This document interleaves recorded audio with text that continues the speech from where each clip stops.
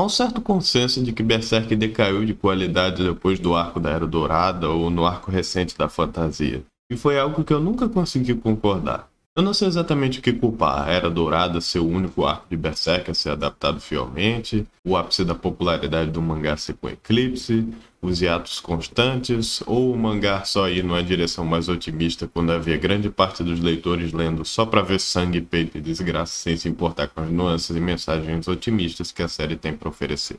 Eu não acho que o arco da Era Dourada de Berserk seja ruim, mas acho ele um tanto superestimado. Sim, ele estabelece vários conceitos importantes na obra, assim como as peças principais do tabuleiro e suas motivações, Guts, Griff e Casca, e os elementos da causalidade. Mas eu vejo essa saga mais como um prólogo, uma contextualização para algo maior que ainda estava para acontecer. Por isso Kentaro Miura se encontrava com uma certa limitação na hora de escrever um elenco de apoio, já que o mangá começa com Guts sozinho, você imagina que a maioria deles ou está morto ou foi abandonado quando Guts saiu do bando do Falcão de alguma forma. Então a função dos personagens como Corpus, Pipinho e Judô servem mais como uma forma de fazer o leitor se guiar a um falso senso de segurança e se apegar aos personagens pelo seu carisma até o inevitável desespero acontecer durante o eclipse. Aumentando o peso das condenáveis ações de Griff agora que você tinha se apegado ao elenco. Algo que funciona no contexto da história, mas por serem personagens descartáveis, seus arcos eram relativamente rasos por natureza. Porém, com a vinda do novo grupo de viagem do Guts, os personagens introduzidos tiveram o tempo e os fatores certos para se destacarem uns dos outros, tanto em termos de progressão de caráter, como suas devidas funções na história e habilidades que possuem. E é nessa parte improvisada de Dungeons and Dragons que encontramos um dos personagens mais bem construídos da série. Um que talvez se iguale com outros personagens favoritos dos fãs, como Guts ou Casca em termos de desenvolvimento e escrita. Essa personagem sendo a filha da família Vandimion e aprendiz de magia da Shirker, Farnese.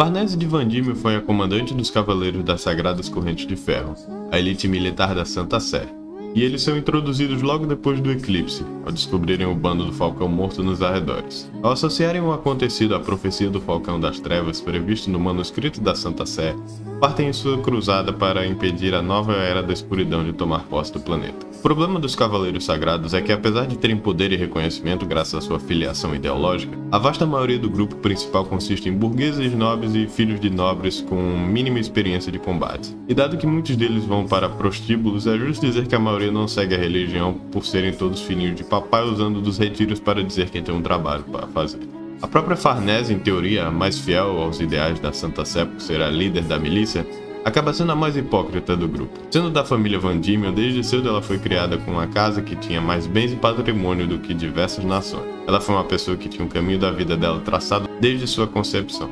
Uma vida de luxo na qual muitos mercenários matariam para ter. Porém, as pessoas têm essa ideia errônea de que uma vida farta de dinheiro significa uma vida sem problemas.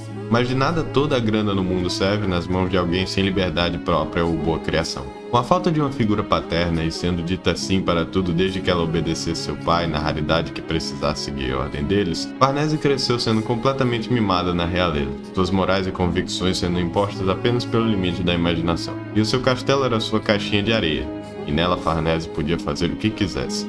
Ela maltratava seus serviçais, matava e torturava seus animais quando a rejeitavam e ativamente participava das queimas de hereges na cruz durante a Inquisição dos pecadores pelo mundo. Ela era uma tirana em formação. Com sua mãe em festas e seu pai em missões, o único afeto que ela tinha deles era ser presenteada em massa, mas nada disso tirava o vazio miserável de sua existência. O único apego real que ela conseguiu nesse tempo com outra pessoa foi com seu meio-irmão Sérpico, e apenas porque aquela vida ainda era melhor do que a miséria absoluta na qual morava antes para cuidar de sua mãe doente. Sua riqueza era sua prisão e a única forma de chamar atenção para si era alimentando sua sociopatia e pirofilia. Com a falta de liberdade de Sérpico vindo por sua falta de status e de Farnese por falta de liberdade e um pilar para se apoiar, eles eram espíritos afins em sua própria impotência. O estopim de seus chiliques veio aos seus 16 anos, quando sua mão foi oferecida em casamento por ordem de seu pai a um nobre que beneficiaria procedimentos políticos. Farnese reagiu tentando incendiar a mansão em que morava, fazendo com que seus pais jogassem um convênio onde tentariam reformar a cabeça dela para que se voltasse a uma causa mais nobre. Na verdade, só funcionou como uma válvula de escape para sua psicopatia. Agora ela tem uma forma de sentir prazer torturando e queimando pessoas que ela considera herege, algo que ela tem grande tesão em fazer. Ela se iludiu em pensar que está no time certo, apenas por ter a liberdade de fazer as coisas moralmente repreensíveis que deseja sem ser julgada. Ela não mudou sua visão de mundo egocêntrica e continua a mesma criança brincando de casinha, como sempre. E quanto mais alto seu ego, maior será sua queda quando a realidade lhe cobrar. Sua queda vindo justamente quando o grupo miliciano encontra Guts, o espadachim negro. Em menos de um dia, toda a noção de mundo que Farnese cultivou por sua vida inteira é derrubada. Ela encontra nesse homem, que é supostamente o mensageiro das trevas, responsável por matar crianças e trazer desgraça para todos os locais que visita, uma figura de consolo, um ícone indomável de força que não precisa se apegar a Deus nenhum para se erguer ou lutar, e ao ser possuída por um espírito da noite, ela indiretamente rende-se à sua luxúria interna. O arco da convicção, como o nome já implica, explora como diferentes pessoas se aterram em crenças e o limite da fé das pessoas quando testada ao extremo. Mosgos, por ser o vilão principal, engloba tudo o que se tem de errado no fundamentalismo religioso. Ele executa e tortura os pobres e necessitados por motivos arbitrários, convencendo as massas de que ele está fazendo bem e limpando o mundo usando a palavra de Deus, quando ele só está alterando a narrativa para que nunca precise pensar em suas ações. E as pessoas acreditam nele até o fim, mesmo vendo ele se transformar em um demônio na frente deles, porque o pensamento de manada é algo muito forte. As pessoas preferem acreditar em uma mentira socialmente aceita do que descobrirem a verdade e serem julgados por isso. A princípio, se é passada uma mensagem muito ateísta, se não antiteísta no arco da convicção. Mas o desenvolvimento de Farnese nos mostra uma perspectiva diferente. Lentamente ela vai acordando que suas ações eram erradas, e com o processo reverso dos apóstolos de sacrificar seus ideais por poder, Farnese sacrifica o poder que ela tinha como uma militar para ir atrás de um ideal que ela se identifica. Ela não vê mais o propósito de se ajoelhar e rezar quando pode usar suas mãos para mudar seu próprio destino, ao invés de esperar o sinal do céu que não virá. Eu me descobri como ateu no começo da adolescência numa família católica dentro de uma escola religiosa, então eu sei muito bem como é esse sentimento. Muitas pessoas acreditam que a descrença em Deus implica uma falta de guia moral, mas independente de Deus existir ou não, nós ainda podemos nos apoiar em pessoas, conceitos como amigos, famílias ou fatos sociais que sempre estiveram ali. A fé não é inerente de religião, mas sim conceitos, e toda fé absoluta deve ser questionada. Mas é inegável que não acreditar em céu, inferno e castigo divino nos faz mais cientes de outros conceitos como a morte, a injustiça presente em nosso mundo, ou no caso de Farnésia, o quão sua autoridade religiosa não significa nada em um mundo repleto de demônios. Por ter sido mimada sua vida toda, ela não tem experiência nenhuma de combate, ainda mais contra os apóstolos que Guts enfrenta. Ela inicialmente é a mais fraca em defesa do grupo da casca e não presta nem para fazer serviços básicos de cuidado como lavar roupas ou fazer comida para o grupo. Mas mesmo se envergonhando de sua inexperiência de vida e tendo consciência de que é um zero à esquerda no grupo, ela recusa voltar a Santa Céu à sua vida na mansão Van pois agora que seus olhos estão abertos para quem ela é, ela não pode mais voltar a ser quem ela era, quem ela nunca escolheu ser. É importante mencionar que Farnese foi a primeira pessoa que Guts aceitou como companheira em sua jornada. Ao contrário de Sidro ou Puck que só se juntaram à força, ou a casca que o Guts adotou por obrigação, isso mostra o crescimento que Guts teve desde a época que ele abandonou Gil no Arco das Crianças Perdidas por não confiar em si mesmo para proteger uma criança dos perigos do mundo. Ou quando mandou Teresa se matar quando ela perdeu tudo só para que ela tivesse ódio dele e se motivasse com alguma emoção para viver como ele fazia. Porém, Guts informa que ele não é bom nesse negócio de modelo exemplar, então ele só irá se proteger e cuidar dos problemas que aparecer na frente. E os dois estão ali de companhia para interpretar os fatos como eles são. É impressionante como toda amizade nova que o Guts faz rebate na mensagem de que não importa o quão inútil ou insignificante você pensa que seja. Na hora mais inesperada, você pode fazer a diferença desde que você aproveite a oportunidade. No caso, o papel que Farnese tem no grupo é de cuidar de Casca e de servir como seu apoio emocional. Algo que Guts admite que é incapaz de fazer sozinho, não importa o quanto ele quisesse. E apesar de falhar em alguns casos, o arco do Falcão Milenar é um exemplo incrível de o quanto as pessoas podem crescer quando removidas de um ambiente disruptivo. Na primeira vez que Casca se perde do grupo com Farnese, ela simplesmente desaba com medo e se esconde, não dando a mínima para o que pode acontecer com a Casca, provando que ela realmente não aprendeu nada, segundo ela.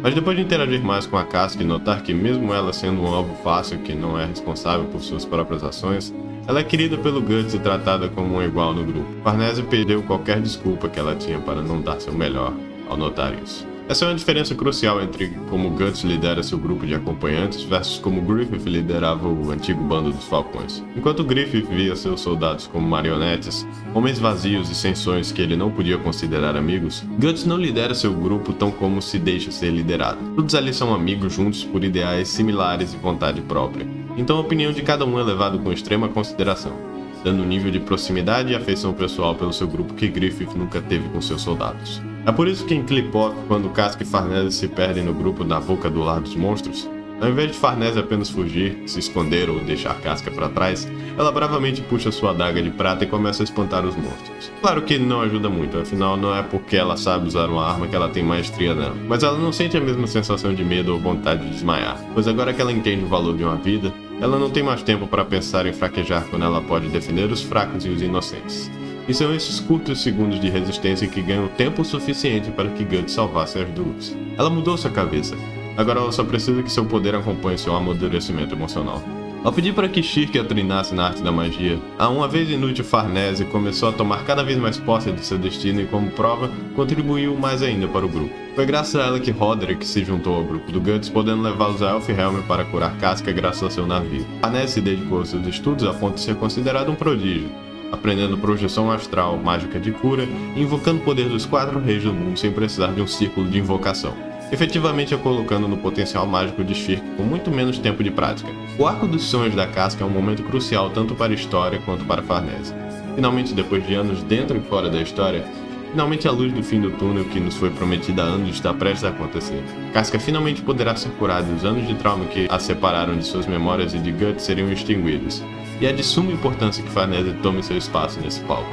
A pessoa que estava lá com Casca desde que entrou no grupo a que foi mudada por sua atitude sem nem que Casca precisasse dizer uma palavra. Aquela que, devido a tudo isso, é capaz de compreender as memórias de Casca com mais clareza, e na qual Casca se sente confiante de ser protegida e convencida a voltar a ser quem ela era. Farnese é de longe a personagem que mais mudou em Berserk em termos de afiliação, personalidade e utilidade, a ponto das duas serem praticamente personagens diferentes desde a introdução até o fim do mangá. É estranho pensar que ela foi desse ícone católico religioso, famoso e conhecido por matar hereges e odiar todos, que agora na verdade pratica a tal mágica herege para salvar almas de pessoas que ela condenaria para a morte antigamente. Seria ela forte o suficiente para usar sua magia no combate final contra Griffith e seu exército de apóstolos? Difícil dizer. Talvez se o estúdio Gaga realmente considerar fazer uma parte 2 para Berserk, teremos mais do que especulação para dizer. Mas a mensagem ainda foi entregue por onde seu arco acabou. Nunca é tarde demais para se reinventar, para refletir em suas crenças erradas e mudá-las ou substituir seus valores mesmo com medo de admitir que o investimento de tempo que você teve em algo foi superficial ou à toa. O amadurecimento tardio pode ser motivo de muita vergonha para jovens adultos. Mas nós só paramos de aprender quando morremos, ou quando desistimos de aprender. É sempre bom lembrar que quando pensamos que temos tudo em nossas mãos, ainda pode faltar alguma coisa. Essa coisa pode ser difícil de achar, já que é uma ausência no mar de riquezas, mas se você não consegue enxergar nada de errado no horizonte, talvez fique mais fácil de lidar com o problema quando você o enxerga no espelho. Esse foi o vídeo, espero que tenham gostado. Se gostou, não esqueça de dar o like, se inscrever para dar aquela força e ficar de olho em futuras análises como essa. Obrigado pelo seu tempo e até mais.